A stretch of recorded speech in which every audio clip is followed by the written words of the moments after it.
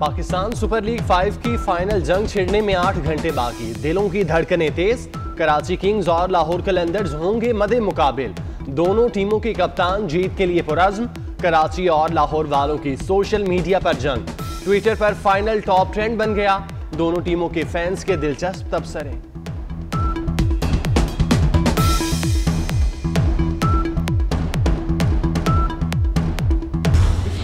बिस्मिल्लाहिर्रहमानिर्रहीम मैं हूँ Inam Butt Rustam Pakistan world champion PSL का फाइनल कराची में होने जा रहा है और मैं बहुत ज़्यादा एक्साइटेड हूँ।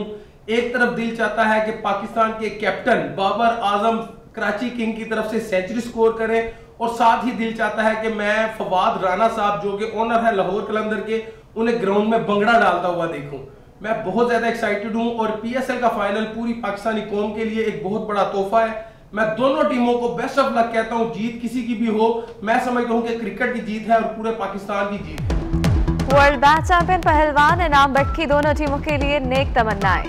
बाबर आज़म की सेंचुरी की ख्वाहिश भी कर डाली। लाहौर कलंदर के मालिक राना फवाद को भी जीतने के बाद कलंदरी धमाल डालने का मशवरा।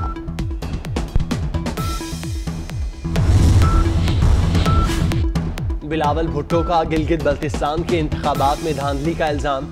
जज्बाती फैसले करने और इंतहाई कदम उठाने पर मजबूर ना किया जाए। चोरी की गई सीटें वापस ना ले सके तो इस्लामाबाद जाएँगे, बिलावल भुट्टो का इंदिया। कहा कि रातों रात नतज तब्दील करके पीपल्स पार्टी को हराया गया। ऐसे इलेक्शन की कोई हैसियत नहीं। अपोजिशन माने, ना माने, गिलगित बल्तिस्तान के अवाम ने फैसला सुना दिया। मुस्तरद शुदा, राजकुमारी तारीख शिकस्त पर मातम करना है। अब हौसला करो, वोट को इज़्ज़त दो। मोबन खसूसी फिरदोस आशरक आवान का ट्वीट, कहा कि शिकस्त तस्लीम करने के लिए भी जर्फ की ज़रूरत है।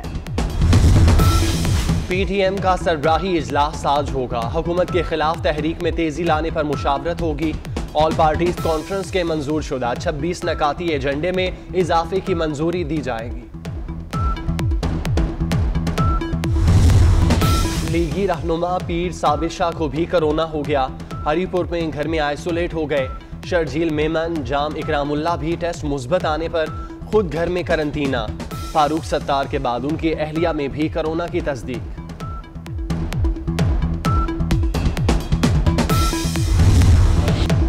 कोरोना की दूसरी लहर में तेज़ी, वज़ीर आज़म इमरान खान का मुल्क भर में। जलसे खत्म करने का ऐलान, कहते हैं, दीगर जमातों से भी जलसे ना करने का कहेंगे। शादी तकरीबात खुली जगहों पर होंगी। तीन सौ अफराज शिरकत कर सकेंगे। एनसीओसी इजलास के बाद खिताब।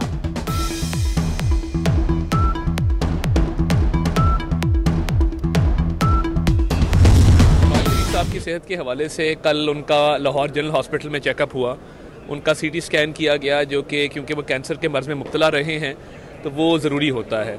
आज से चंद रोज़ पहले जो उनका एमआरआई किया गया था, उसमें उनकी गर्दन और लोअर बैक के अंदर काफ़ी इश्यूज़ निकले और ये पिछले एक दो हफ्तों में उनकी कमर का मामला खासा ख़राब हुआ है। उसके बावजूद बख्तरबंद में लाने की समझ नहीं आती। और पिछले कुछ दिनों में ऐसा क्या हुआ कि नॉर्मल गाड़ी जिसमें लाया जाता था, वो तब्दील करके जब से उन्होंने हाथ पे, हाथ फेरा मुँह पे इमरान खान साहब ने, वो गाड़ी चेंज कर दी गई। तो ये सिला मिल रहा है इस मुल्क की खिदमत का। दहशत गर्दों को जिस गाड़ी में लाया जाता है, उस गाड़ी में शहबाज शरीफ साहब को ला रहे हैं। और रमज़ान शुगर मिल्स रेफरेंस में हमजा शहबाज की पेशी, जुडिशल रिमांड में यकम दिसंबर तक तोसी लीगी रहनुमा। अताउल्ला तारड़ मीडिया से गुफ्तगू में बोले कि जिस गाड़ी में दहशत गर्दों को लाया जाता है, उसमें शहबाज शरीफ को लाया जा रहा है। आवाम को बेहतरी सफरी सहूलियात देने वाला आज खुद बख्तरबंद गाड़ी में आने पर मजबूर है।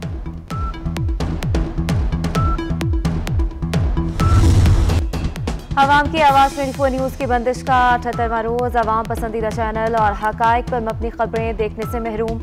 मुल्क भर में सहाफ़ियों और सिविल सोसाइटी का एहतजाज।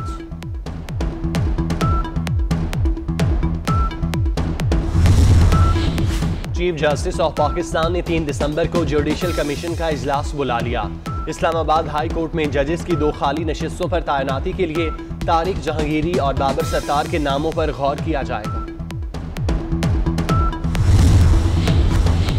पाकिस्तान के बेशतर इलाकों में मौसम खुश्क, पहाड़ी इलाकों में कड़ाके की सर्दी, कालाम का दर्जा हरारत मनफी आठ, लह का मनफी सात, कल्लाद, गोपेस, मालम जब्दा अस्तूर का मनफी तीन हो गया। पंजाब के मैदानी इलाकों में सुबह के वक्त धुंध छाई रही।